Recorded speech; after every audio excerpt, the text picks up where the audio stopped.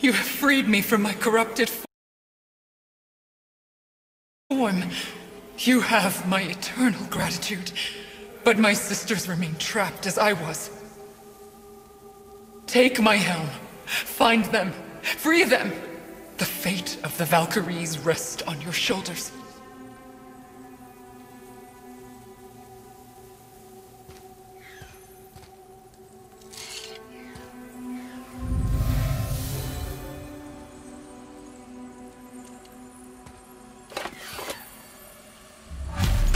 Fate of the Valkyries.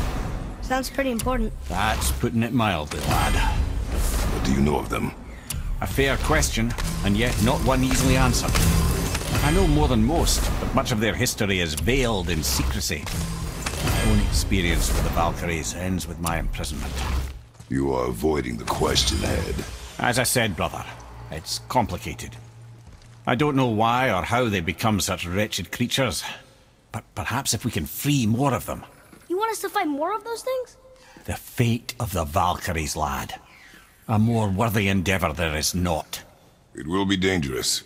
Well, that hasn't stopped you before, eh? Hmm. That's the spirit.